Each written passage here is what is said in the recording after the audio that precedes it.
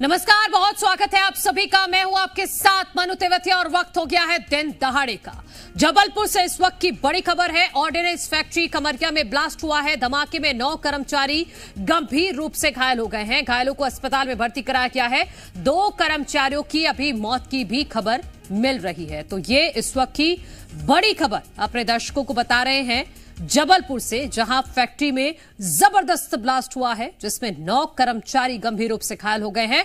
उनको अस्पताल पहुँचा दिया गया है और अभी प्राथमिक तौर पर यह जानकारी मिल रही है कि दो कर्मचारियों की इस ब्लास्ट में मौत भी हो गई है।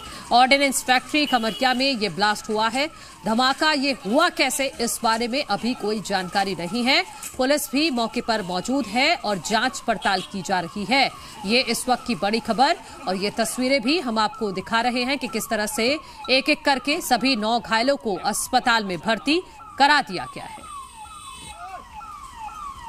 हमारे सहयोगी जबलपुर से कुलदीप बबेले इस वक्त जुड़ गए हैं। कुलदीप, क्या अपडेट है? बताइएगा, कैसे हुआ है ये ब्लास्ट?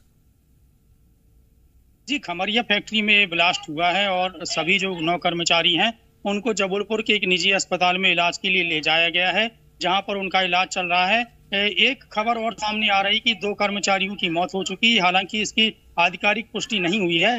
बताया जा रहा है कि खमरिया के सेक्स सेक्शन में बम फिलिंग का काम चल रहा था। उसी दौरान ये धमाका हुआ है। एक बात मैं आपको बताना चाहूँगा कि खमरिया फैक्ट्री में कोई पहला हादसा नहीं है। अभी कुछ समय पहले ही एक कर्मचारी को हादसे में अपनी जान गंवानी पड़ी थी। जब उसके ऊपर एक वो जो बोकोर तोप की बैरल भी गिर गई थी तो कुल मिलाकर यदि कहा जाए तो खमरिया फैक्ट्री में लगातार हादसे एक के बाद एक हो रहे हैं और कर्मचारियों में इसको लेकर भी खासा आक्रोश व्याप्त है। आज का जो हादसा हुआ है उसका भी फ़िलहाल स्पष्ट कारण प्रबंधन की ओर से नहीं बताया गया है। नहीं तो ब्लास्ट हुआ कैसे है? क्या कर्मचारी जो वहाँ पर काम कर रहे हैं उनको प्रॉपर ट्रेनिंग नहीं दी गई है? उन्हें जानकारी नहीं है?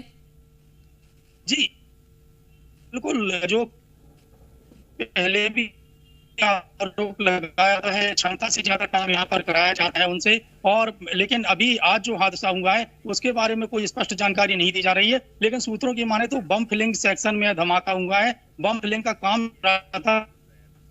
ठीक है कुलदीप बबेले आप नज़र बना के रखिएगा। फ़िलहाल बहुत शुक्रिया आपका तमाम जानकारी के लिए।